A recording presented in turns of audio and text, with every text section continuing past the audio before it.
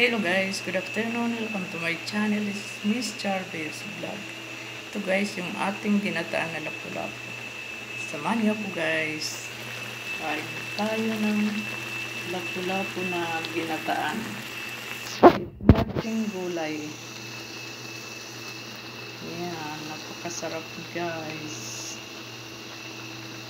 Hello, hello mga idol. Hello ang aking mga viewers. Kumusta kayo dyan? Ano na natin to? Lilipat na natin sa lagayan. Ready to eat na po itong lapu-lapu with gata. Yan na guys. Ready to serve na siya.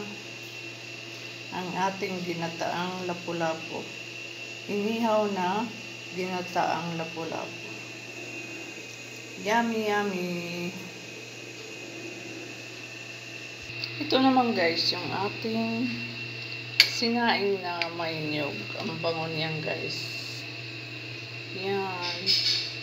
Ito yung pagkain ng sinaunang panahon. May niyog.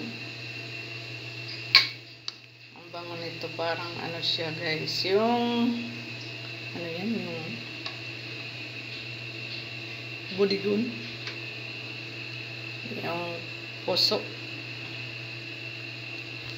Thank you guys. Thank you for watching. God bless. Bye-bye. Kain tayo.